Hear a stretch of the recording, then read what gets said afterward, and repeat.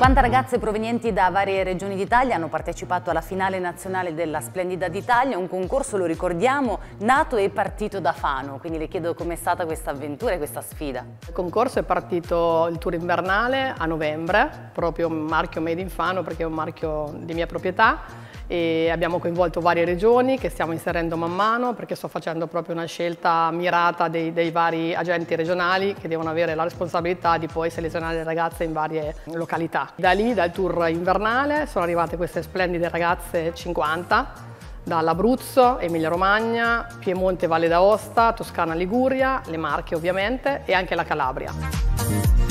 Dopo queste selezioni poi si è arrivati alla fase finale. Ci ha ospitato il comune di Chianciano Terme e abbiamo avuto il patrocinio del comune e quattro giorni di passaggi giuria, intensi passaggi giuria dove le ragazze mm, sono state valutate non solo per la bellezza ma per la parte caratteriale, per la posa fotografica e uno anche dei giudizi era sull'empatia, quindi quello che riescono a comunicare in pochi minuti alla giuria e direi che sono state molto brave, tutte um, di alto livello, ovviamente molto emozionate perché tanto per, per qualcuno era anche la prima esperienza in finale nazionale, non è così semplice.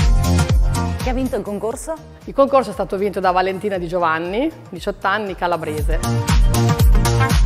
poi ci sono state anche altre ragazze premiate, tra cui una fanese. Giustamente, Giulia Stefanelli che ha preso una, una fascia importante e la seconda classificata mh, è, è, della provincia di Rimini, però sempre appartiene a me, insomma al mio, mio gruppo, ed è Emma Brand e, e l'altra Manila Violini di Agugliano di Ancona. Però la nostra fanese Giulia Stefanelli se l'ha cavata molto molto bene. Progetti? Progetti, adesso ripartiamo di corsa per il tour estivo, siamo già addirittura d'arrivo per le prime partenze, poi avremo la finale nazionale in Calabria a fine settembre e nel frattempo le ragazze che hanno vinto le fasce saranno accompagnate a Milano per fare accesso a delle agenzie di moda che già ci hanno fatto richiesta.